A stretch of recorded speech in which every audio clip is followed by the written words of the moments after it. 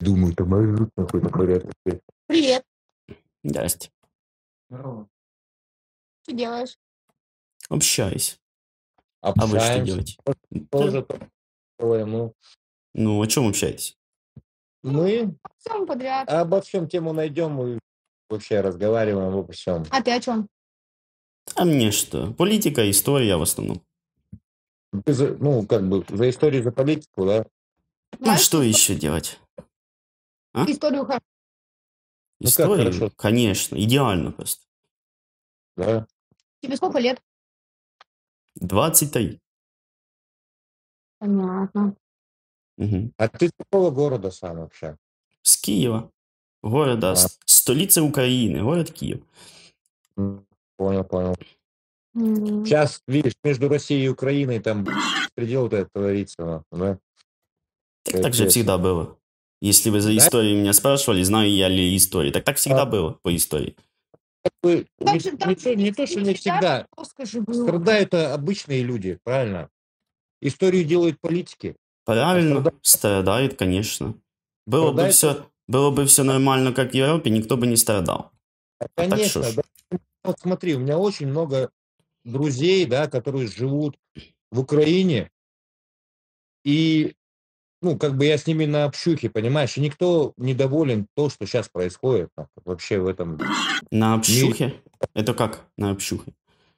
Это значит, мы общаемся, постоянно созваниваемся и разговариваем с ними. Это на общухе Да ну, да никогда не поверю. Украинцы с русскими уже очень мало кто там общается, кто с России. А, ну, Это очень вряд ли.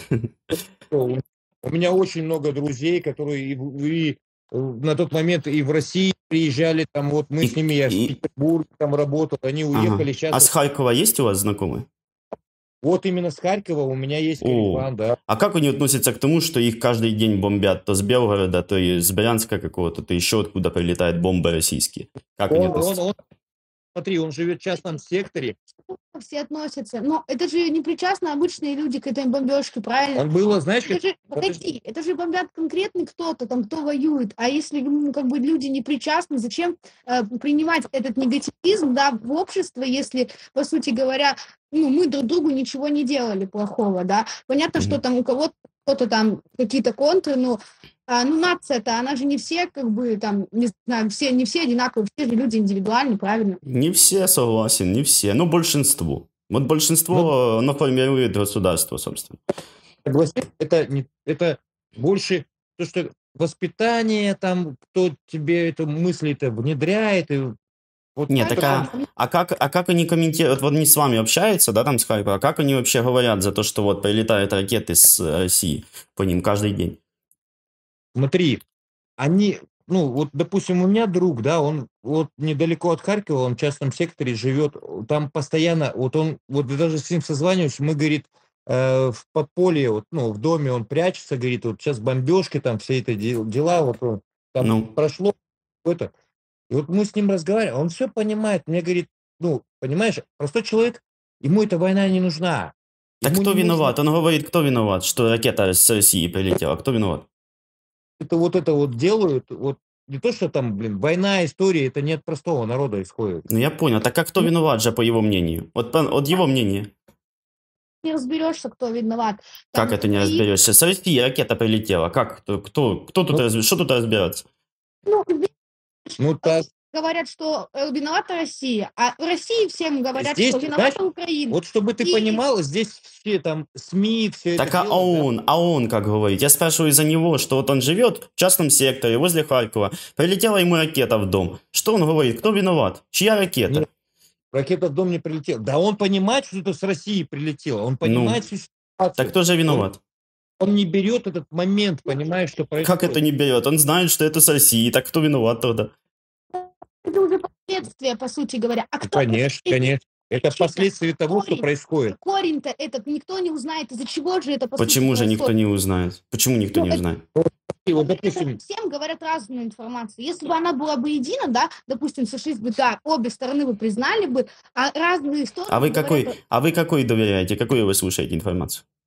Слушай, я никогда СМИ не смотрю. Не-не, Я- не СМИ, вообще не СМИ. Вот вы же говорите, у вас много знакомых с Украины. Что, вот, как вы думаете, человек, который живет в самой стране, видит, что, что прилетела к нему ракета, он лучше будет понимать за вас или хуже?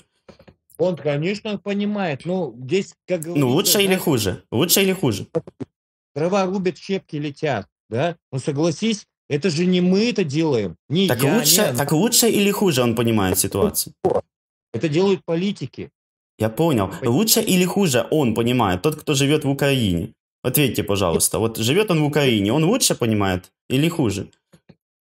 В смысле лучше понимает. Ну, э, что, что вообще творится? Что вот ему ракета прилетела в дом, он видит сам своими глазами. И вы, которые живете, живете где-то там, ну, допустим, просто теоретически где-то там на Сахалине где-то живете. Э, Кто вот лучше понимает? Я считаю, то, что э, нельзя конкретизировать. Каждый понимает ровно настолько, какую информацию ему заложили. А эта информация никакая, не может быть всегда достоверной, потому что любая информация пропагандируется в своих интересах всегда. Согласен. И поэтому никогда не принимаю чью-то сторону. Я, ну, как бы, конечно, я Ага. нахожусь в России, моя страна, типа, да, но я как бы вообще, я типа, ну, я, короче, нейтраль. Конечно, я Ну, нахожусь в России. Смотрите, я, я с вами полностью согласен. Но смотрите, человек не смотрит, вот, например, вообще новости. Вообще не смотрит. И вообще он не, не слышит, что там где-то по новостях там показывают, говорят. Вот этот человек такой, такой в Украине и такой в России. Ему прилетела ракета. Кто из них будет лучше осознавать, что вообще происходит? Смотри, он не смотрит новости, но он общается с людьми. Информация внедряется же не только через новости. Хорошо, а он через живет сам, он живет сам. Он вообще не общается ни с кем, он изгой, он где-то в лесе э, э, живет. Он будет понимать ситуацию?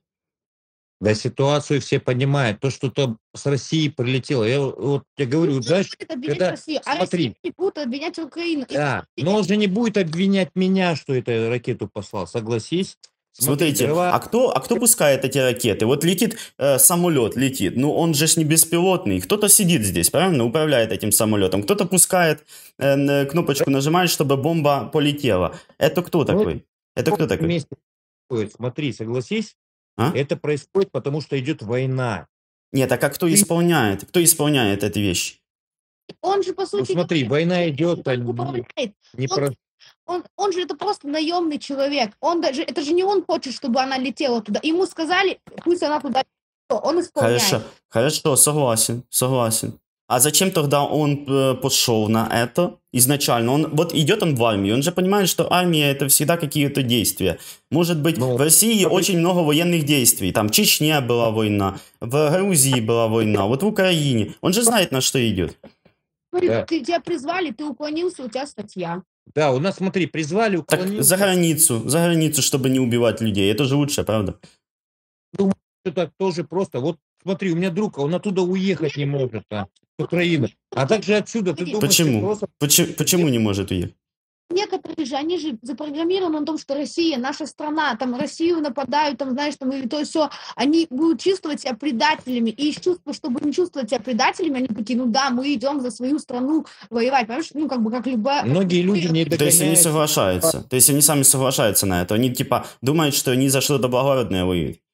Ну, типа, да, они, Походу, да, наверное, так оно и есть. они, Ну, они не понимают, за что они воюют. Они просто, ну, воюют, чтобы именно самоутвердиться, что они не предатели своей страны, что им Ну, так- сказали, да, видите, это у, у них уже согласие идет, получается. То есть они же со- по, согла- по своему соглашению пошли, по своей воле.